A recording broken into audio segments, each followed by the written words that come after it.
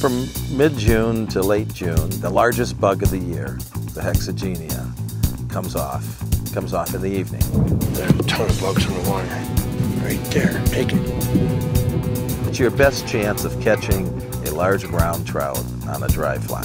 Stick his hex net. I mean, these things are like little birds. Big trout. The benefits of that large fly is they bring up some of the largest trout in the river. Big trout. which fishermen like. The biggest problem though is they, it's all at night. There. Got him. Good job. I mean, the best nights are the dark as the inside of your hat. None of it was predictable. What we thought was going to happen didn't happen.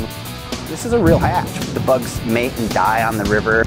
We fish the hex late into the night and then we stay up even later drinking beer and scotch. Strip, strip, strip. And then all of a sudden, bugs.